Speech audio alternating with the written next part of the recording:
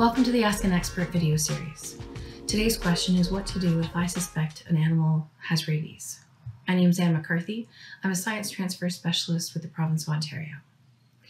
If you suspect an animal has rabies, then the main thing is to keep your distance and not to touch the animal. You should never touch a wild animal, living or dead. If a person has been exposed, meaning bitten or scratched, they should call their doctor or local public health or go to the emergency department. If a domestic animal, meaning your pet or livestock, have had contact with a wild animal, you should call your vet. If you or anyone around you is an imminent risk from a wild animal, call police. Now, if there's no risk of contact um, and the animal's alive, we recommend you call your local animal control. If your municipality doesn't have um, wildlife services, you can call a private animal control company in your area.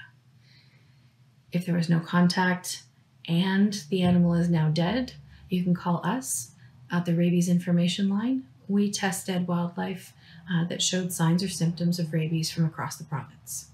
We also offer advice on um, who to call, next steps, and general rabies and wildlife information.